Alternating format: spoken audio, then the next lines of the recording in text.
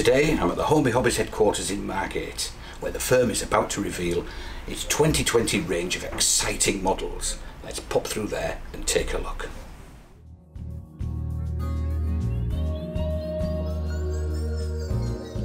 This year is Hornby's centenary year and the firm are promising something momentous. Coming up, a journey into the unknown, a trip down memory lane, sneak previews of the 2020 range, and an exciting new app based analogue controller. Over to Callum Wilcox, who has the details. Highlights in this year's range include a selection of commemorative products celebrating each decade of Hornby its 100 year history. These products feature up to date remakes of classic models and sets in packaging depicting the period. Looking to the future, Hornby's announced a multitude of new tooling, including the iconic Stephenson's rocket, Intercity APT, Thompson A2-2s and A2-3s, British Rail Standard 2MT 260s, British Rail Class 91s, British Rail Mark 1 RBs, Coronation Scott coaches, and the unique LNER Class W1 Hush Hush depicting all major forms carried through a service career. As well as new tooling, there's also a plethora of new and exciting liveries spanning the entire range, including steam era, modern traction, coaching stock, and goods vehicles.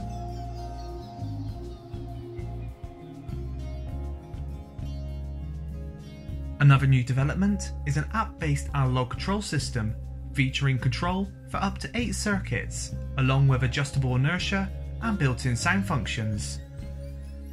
George from Hornby takes us through just some of the functions of this new system. As you can see one of our locomotives there on the, lo the large oval, which is the Terrier over there. You know, I can slow down.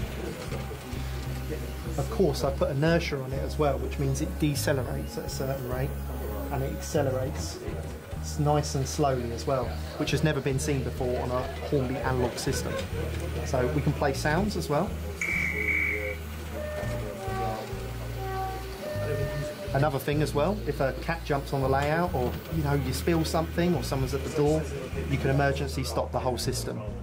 Now, you can actually change some of the settings in there. For example, you know, I'm going to swap it so on our large oval, the terrier is going to swap direction and then we resume it.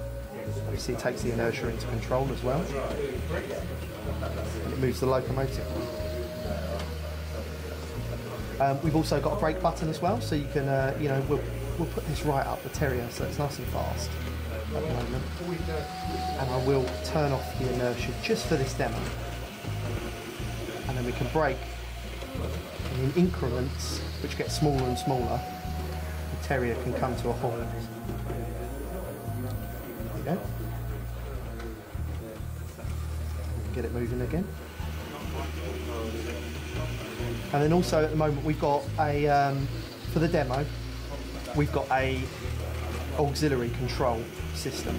So we've got all of the points, so we've got, um, you know, 6010, uh, which is one of those units, and then we've got channel ABC, so obviously four accessories, and open close, and we've got lights over there, see, red light go, green light. Um, we've got channel C over there, which is another point, and you flick it, open, close. And then that's that. We asked Hornby Marketing and Developments Director Simon Kohler if there's room on the market for this new system. Um, I'm very confident that the HM6000 does have room. Now, it's room in our brand, really. You know, we have to move on. We have to show progression. We have to show technology at its best. Now, as I've said earlier, if I can be in the middle of the US and switch the heating off at home, some 6,000 miles away or whatever, then I should be able to be, have the ability to control a train using my phone. Everything, believe me, within probably two years, everything you'll be doing on your phone. You can you can book tickets, you can pay for your car parking. You so much you can do on your phone. So why can I not control the train with my phone? I will be able to in very short order. One of the biggest surprises in the range is the announcement of a new steampunk railway system under the Bassett-Lowke brand. The range will feature a selection of locomotives, rolling stock, figures, and buildings aimed at the sci fi market. We asked Simon what Hornby hopes to achieve with this new line of products. It's really hoping to uh, attract a different clientele, new clientele, new people, um, which will then lead to hopefully moving on to the model railway hobby. But it, it, it, it's tapping into that sort of genre that people who like to um, look at things maybe differently, it's their hobby, it's their passion, it's like, you know, Comic Con and things like that. With such an ambitious year of releases, we asked Simon if Hornby would be able to deliver in light of recent supply issues. The, the answer to that is we believe we will. You cannot budget for the unexpected, I'm afraid.